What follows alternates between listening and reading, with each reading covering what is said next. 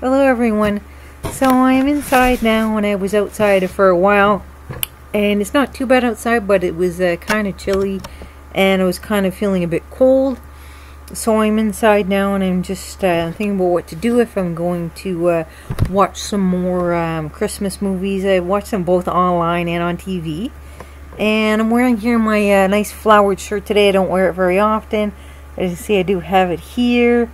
And uh, what is anybody else doing uh, today for their Saturday? Are you doing any uh, Christmas uh, decorating, or maybe you're making some cookies, or uh, putting the tree up, or any other uh, cooking, or also doing the same thing and watching Christmas cartoons or Christmas movies? And I just wanted to ask you that. So if you have any comments or questions, or let me know what you're doing today, then um, put them below and also remember, please subscribe. Bye for now.